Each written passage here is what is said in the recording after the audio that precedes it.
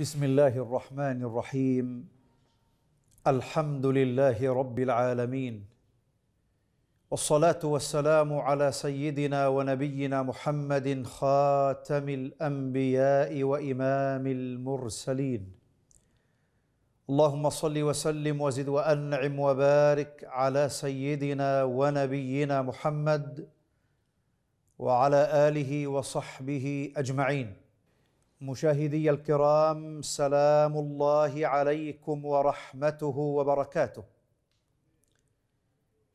إسلامنا دين الآداب والقيم. إسلامنا دين الذوق العام. يدعو إلى أن يعيش الإنسان بخلاق فاضلة مع الغير.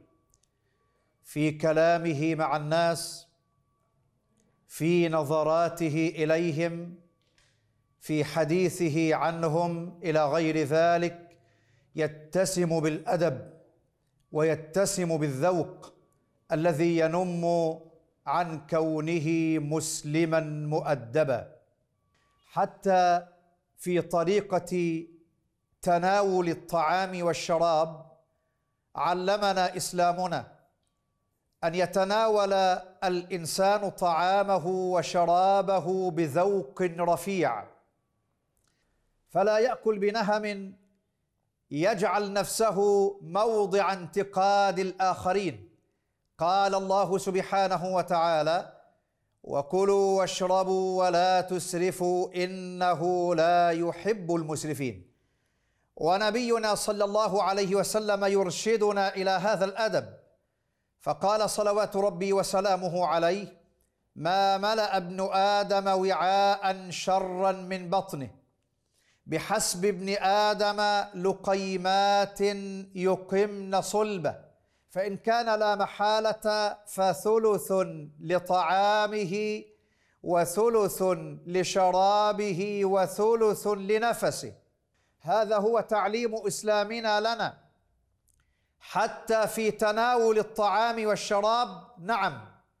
ولذلك في حديث عمر ابن أبي سلمه قال كنت غلاما مع النبي صلى الله عليه وسلم فكانت يدي تطيش في الصحفة.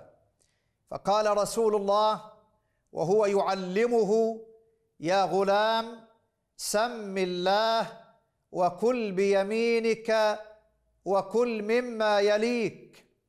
هذا هو تعليم إسلامنا لنا. لنتعلم الذوق في جميع ميادين الحياة ونواحي ومناحي دنيانا حتى في الملبس.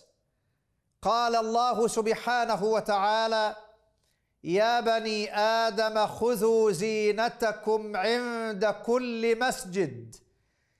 يلبس الإنسان ملبسا نظيفا طاهرا طيبا. ولذلك أيضا أحبة الأكارم علمنا إسلامنا ألا نتكلم بكلام وألا نفعل فعلا يخدش حياء الناس أو يحرج الآخرين. لأننا سنسأل أمام الله تعالى عن سمعنا. عن نظرنا عن فعالنا عن أقوالنا.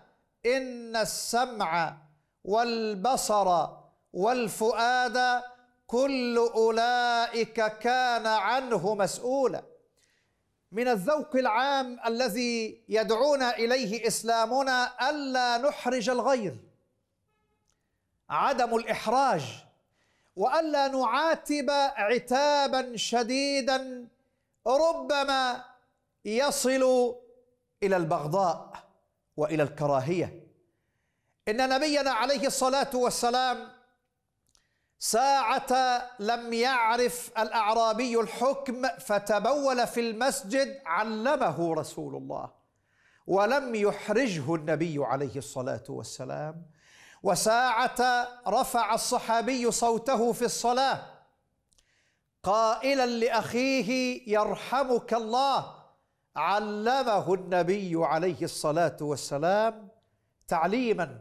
كله أدب كله ذوق كله إحساس ومراعاة لمشاعر الغير.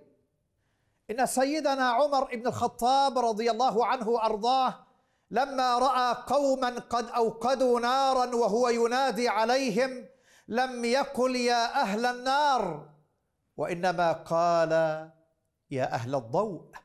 إن سيدنا الإمام الحسن والإمام الحسين رضي الله عنهما أراد أن يعلم الرجل الوضوء فقال له تعالى واحكم بيننا من الذي يتوضأ أحسن؟ فتوضأ. فقال والله أنا الذي لا أحسن الوضوء. علماه بذوق بأدب. أحبة الأكارم هذا هو ديننا. دين الأدب دين الذوق. دين يدعونا ألا نحرج الآخرين.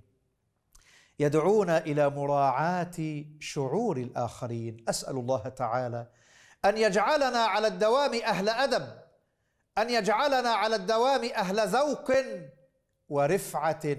واحترام. وصل اللهم وسلم وبارك على سيدنا ونبينا محمد وعلى آله وصحبه أجمعين. بارك الله فيكم. جزاكم الله خيرا. والسلام عليكم ورحمة الله.